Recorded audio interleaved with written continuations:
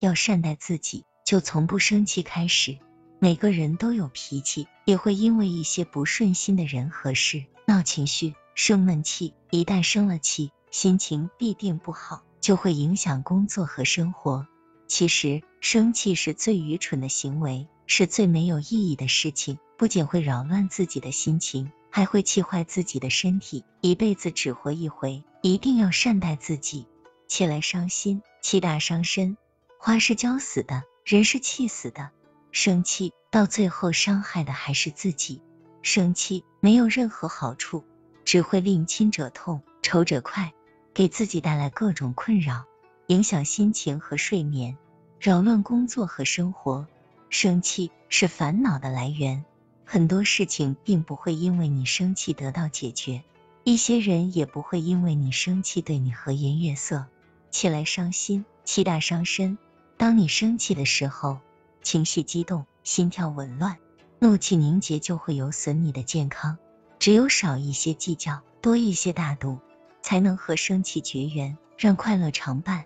与其愤怒生气，不如从容面对。生气是做人的正常表现，但并不是每个人都要生气。每当生气之前，先想一想：值得吗？应该吗？生气能解决吗？想明白了，你就不会生气了。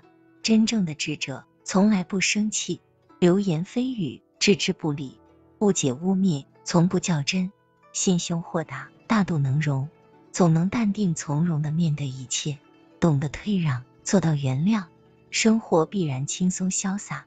善待自己，从不生气开始。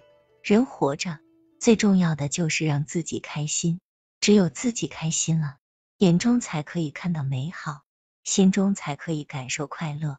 要想让自己开心，最主要的就是不生气，善待自己，不要动不动就生气。发火之前，先冷静一下；愤怒之时，先静一静心。学会控制自己的情绪，不为琐事懊恼，不和他人争吵，静而不争才是真正的智慧。笑而不气才是最好的养生。